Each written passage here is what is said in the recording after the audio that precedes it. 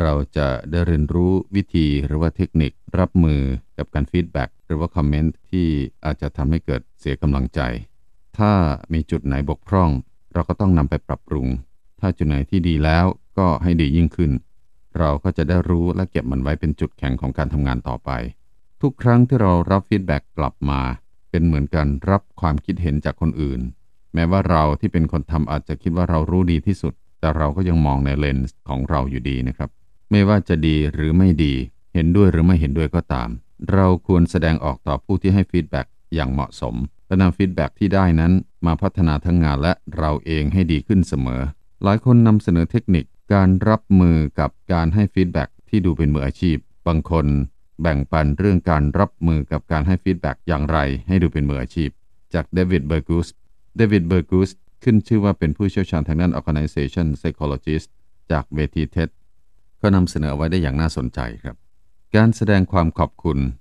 เพราะ feedback นั้นเป็นเหมือนของขวัญที่อีกฝ่ายมอบให้เรารู้ว่า งานของเรานั้นเป็นอย่างไรในสายตาของคนอื่น ไม่ว่าจะด้านบวกหรือลบก็ตาม อย่าลืมแสดงความขอบคุณออกไปสำหรับความคิดเห็นที่เขาให้มา เพื่อให้อีกฝ่ายเข้าใจว่า เราได้รับฟังถึงความคิดเห็นของเขาแล้วและ ไม่ได้รู้สึกต่อต้านต่อความคิดเห็นนั้น เพราะการต่อต้านความคิดเห็นของอีกฝ่ายในทันที อาจทำให้เรากลายเป็นคนที่ไม่รับฟังความคิดเห็นของคนอื่นสักเท่าไหร่นัก ทบทวนสิ่งที่ได้ยิน เมื่อเราต้องนำความคิดเห็นนั้นไปแก้ไขหรือต่อยอด เพื่อให้แน่ใจว่า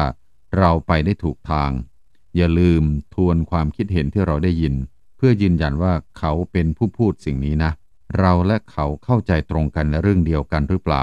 คุณกอรู้สึกว่ามันยังไม่ตรงกลุ่มเป้าหมายใช่ไหมครับ คุณขอคิดว่ามันสามารถลดเวลาลงอีกได้นะครับ ถ้าหากอีกฝ่ายตกประเด็นสำคัญอะไรไป หรือเรากำลังตีความอะไรพลาดไป จะได้สามารถแก้ไขกันได้ในตอนนั้นเลย และสิ่งสำคัญคือมันช่วยทำให้อีกฝ่ายรู้สึกว่าความคิดเห็นของเขานั้นมีความสำคัญกับเรา และเรารับฟังความคิดเห็นของเขาจริง ๆ ทบทวนสิ่งที่จะเปลี่ยน เมื่อรับฟังความคิดเห็นของทุกคนแล้ว หากมีอะไรที่เราต้องนำกลับไปแก้ไข อย่าลืมพูดทบทวนว่า เราได้รับฟัง feedback มาแล้วนะ แล้วเรากำลังจะนำเอากลับไปแก้ไขส่วนไหนบ้าง พูดมาเป็นข้อๆได้เลย ยิ่งทำให้เห็นว่าเรายินดีที่จะแก้ไขในข้อบกพร่อง ถ้าหากเราตกหล่นประเด็นของใครไป ก็จะได้มีคนท้วงได้ทันเวลา การแก้ไขของเราจะได้จบลงง่ายขึ้น ไม่ต้องคอยไล่แก้กันไปหลายรอบ เพราะจับประเด็นได้ไม่ครบถ้วน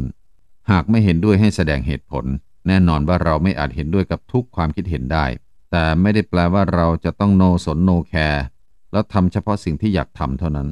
หากมีความคิดเห็นไหนที่เรารู้สึกไม่เห็นด้วย ให้ขอบคุณและรับฟังเหมือนกับความเห็นอื่นๆ แต่อย่าลืมให้เหตุผลไปว่าที่เราเลือกทำแบบนี้เพราะอะไรทำไมมันจึงไม่ตรงกับสิ่งที่เขาคิด หากมันสามารถหาจุดตรงกลางได้ ให้ลองเสนอไปว่า เราสามารถทำในสิ่งนี้เพื่อแก้ไขแทนได้หรือไม่ ถ้าไม่ได้ลองถามความคิดเห็นของผู้อื่นร่วมด้วย เพราะการได้รับความคิดเห็นไม่ว่าจะแง่บวกหรือลบ ย่อมดีกว่าไม่มีใครมีความเห็นอะไรต่องานของเราเลย อย่าเพิ่งตั้งแง่ว่าความคิดเห็นของคนทำอย่างเราจะดีที่สุด เพราะเราทำมาเองกับมือ นั่นจะทำให้เรากลายเป็นน้ำเต็มแก้ว ที่ไม่มีวันรับความคิดเห็นใด ๆ ได้อีกเลย